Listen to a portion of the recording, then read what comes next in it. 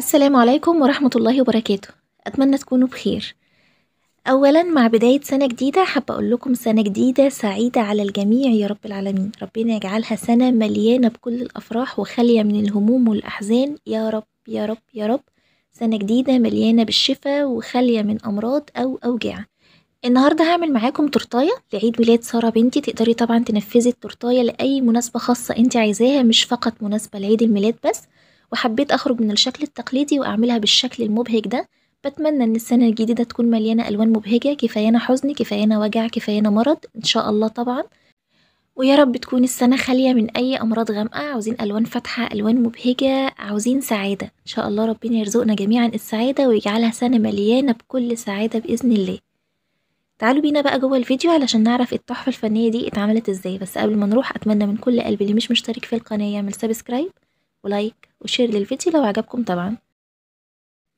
هنقول بسم الله ونبتدي بالمقادير وطريقة التحضير. في بولة هنا عميقة تكون ناشفة جدا ضفت أربع بيضات بدرجة حرارة المطبخ. وضفت عليهم كوباية إلا ربع من السكر الناعم واتنين ظرف من الفانيليا وكيس baking powder ستة وعشرين جرام ومعلقة كبيرة من محسن cake ال gel وكوباية ونص من الدقيق ونص كوباية من المية. هضربهم مع بعض كويس جدا جدا لحد ما ياخدوا قوام كريمي بالشكل ده. طبعا أنا عاملة فيديو تفصيلي بالكيك بتاع التورتة هنزله لكم برضو على القناة علشان اللي حابب يتابع الطريقة بالتفصيل. حطيت هنا خليط الكيك في صينية بطنتها بورق الزبدة ودخلتها الفرن على درجة حرارة 180 لمدة 25 دقيقة أو على حسب درجة حرارة فرنك. وده شكل الكيك بعد ما خرج من الفرن. كيك هش طري جدا جدا جدا.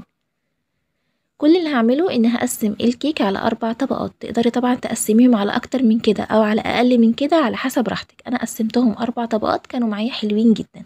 وزي ما انت شايفة الكيك فظيع جدا طري وهش بشكل لا يقاوم. أسهل طريقة لعمل كيك اسفنجي هي الطريقة دي صدقيني طريقة سهلة وبسيطة جدا جدا. هنزلك بيها فيديو بشكل منفصل علشان تقدري تستفيدي بكل الخطوات اللي موجودة آه للكيك. بس طبعا مش عايزة أطول الفيديو علشان كده اختصرت لكم طريقة عمل الكيك. بعد كده هشيل الكيك في التلاجة يرتاح. أنا سبته ليلة بحالها وبعد كده جبت بولة ضفت فيها آه ربع كيلو من بودرة الكريم شانتيه الخام وضفت عليها معلقتين كبار من السكر البودرة وكوباية ونص أو كوباية وربع من المية المجمدة أو المية المتلجة. تكون ساقعة جدا جدا. كل اللي هعمله إن هضرب بالمضرب الكهربائي أو المضرب اليدوي زي ما تحبي بس طبعا المضرب اليدوي هياخد منك وقت أكتر ومجهود أكتر. وده شكل الكريمة بعد ما اتضربت آه كريمة متماسكة. ممكن طبعا تعمليها باللبن بس كانت بالمية طعمها حلو جدا على فكرة ما كانتش آه مش قد كده لأ كانت جميلة جدا. بعد كده جبت الكيك زي ما أنتم شايفين بعد ما بيت في التلاجة وعندي بقى السائل اللي هسقي بيه الكيك ده عصير أناناس.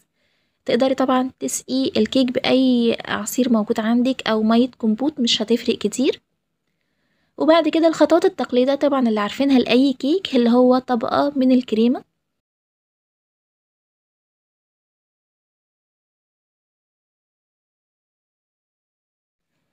طبعا في المرحلة دي لو تحبي تضيفي على الكريمة أي نوع من أنواع الفاكهة تكوني مقطعاها مكعبات صغيرة جدا جدا. طبعا هيكون رائع وقيمة غذائية أعلى.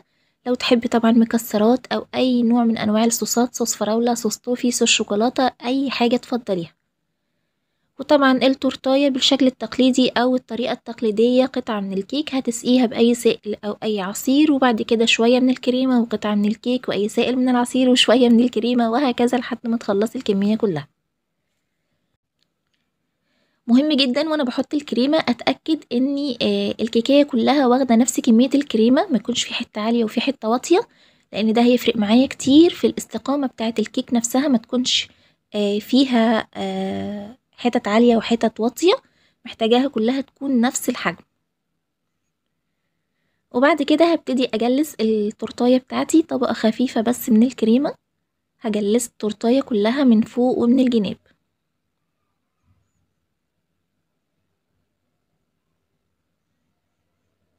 تقدري بقى تنفذيها بالطريقة اللي انت شايفاها مناسبة أو الطريقة اللي أسهل لك. المهم إنك تغطي الكيك كله بطبقة خفيفة من الكريمة. ده هيساهم كتير جدا في إن الكيكة يكون شكلها متساوي أكتر وتكون مرتبة أكتر ما يكونش فيها حفر أو أي حاجة.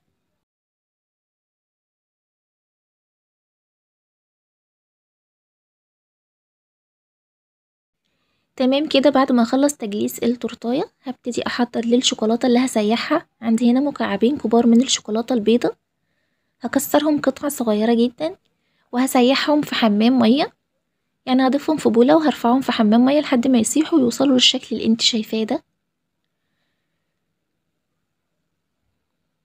بعد كده هبتدي أفردها على الكيك من فوق زي ما أنتوا شايفين. نزلت بالشوكولاتة أو بكمية الشوكولاتة على وش الكيك وهبتدي أنزلها من الأطراف علشان تتغطى كلها. طبعا في المرحلة دي لازم تكون إيدك سريعة شوية لأن طبعا إحنا الجو ساقع جدا آه، فالشوكولاتة هتمسك آه، بسرعة يعني مش تاخد وقت طويل لحد ما هتلاقيها مسكت. فمهم جدا آه، تكوني فرداها كويس جدا جدا قبل ما تمسك عشان ما يبقاش في أي مشاكل. أو عشان تاخدي أفضل شكل ليها. طبعا لو عندك عجينة السكر تقدري تستبدلي الشوكولاتة البيضة بعجينة السكر هيكون هايل جدا جدا. ولو حسيتي إن التورتاية أو إن الشوكولاتة مسكت قبل ما شكل التورتاية يكون منتظم آه، هتجيبي الاسباتيولا اللي بتفردي بيها الكريمة أو تفردي بيها الشوكولاتة بالشكل ده هتحطيها في حمام مية سخن زي ما انت شايفة وهتبدأي تمشي على الشوكولاتة حركات آه، دائرية أو حركات بطيئة جدا لحد ما تاخدي آه، قوام مناسب أكتر للشوكولاتة. ده كده بيبقى شكلها. وبعد كده هبتدي بقى عندي عجينة سكر باللون الأصفر الألوان اللي شفتوها معايا في التورتاية. هبتدي أجيب أي قطعة صغيرة. أنا جبت البلبلة بتاعه الكريمة. وهطلع منها دواير صغيرة جدا. تقدري بقى تعمليها قلوب أو تعمليها وردات زي ما تحبي. أهم حاجة إن هما كلهم يبقوا بنفس الحجم وتقدري طبعا برضو تشكلي فيهم تخليهم دوائر صغيرة ودوائر كبيرة يعني حاجة بقى إيه آه تفنني يعني اعملي حاجة تكوني مستمتعة وانتي بتنفذيها. عجينة السكر دلوقتي تقدري تشتريها من أي منفذ المستلزمات الحلواني آه موجودة دلوقتي وكتير كمان أنا دي كنت محضراها في البيت آه هحاول أعمل لكم إن شاء الله بيها فيديو للي حابب طبعا. مكوناتها بسيطة وهي كمان سهلة ولكن محتاجة تكنيك مختلف شوية علشان تاخدي أفضل نتيجة. بعد ما خلصت الوردات اللي عملتها أو الدوائر اللي عملتها من عجينة السكر هبتدي دلوقتي ألزقها على الكيك بتاعنا. أنا هلزقها بكريم شانتيه تقدري بقى تلزقيها بشوكولاتة آه، أو أي حاجة ولكن الكريم شانتيه كان معايا شوية فاضلين ادوني نتيجة كويسة جدا جدا.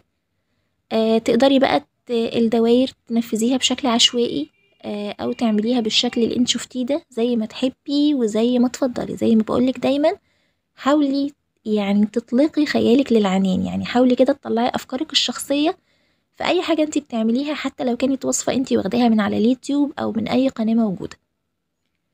ده كده بيبقى شكلها من تحت. هبتدي أعمل نفس الطريقة من فوق. أنا بعد ما عملتهم كده حسيت إن هيكون شكلها ألطف لو جبتها بجنب شوية بحيث إن أنا أغطي الطرف بتاع سطح الكيك بالشكل اللي انت شايفاه ده. وبعد كده في النص برضو بعد ما عملت الدايرة دي كده حسيت لا انها هيكون ألطف جدا لو عملت ده آه وردية صغيرة من اللون الأصفر. آه، بدل ما أحطها دايرة صغيرة بس كده لأ هعملها وردة. حسيتها شكلها هيكون ألطف كتير. بالشكل ده. وبعد كده بقى اللي اتفضل معايا من القطع اللي عملناها أو من الدوائر اللي عملناها هبتدي أخدهم آه، بعد الوردية كده واحدة ورا التانية.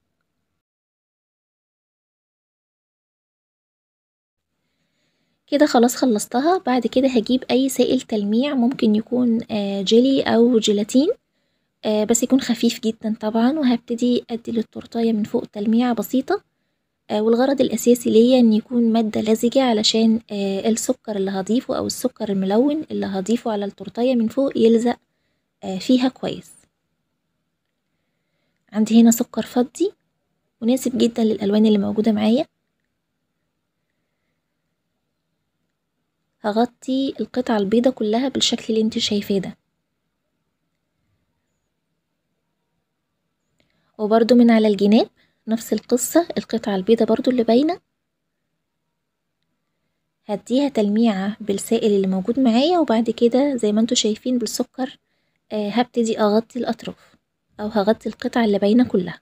كده خلاص التورتاية بتاعتي جاهزة هشيلها بقى في التلاجة وهطلعها آه وقت التقديم على طول.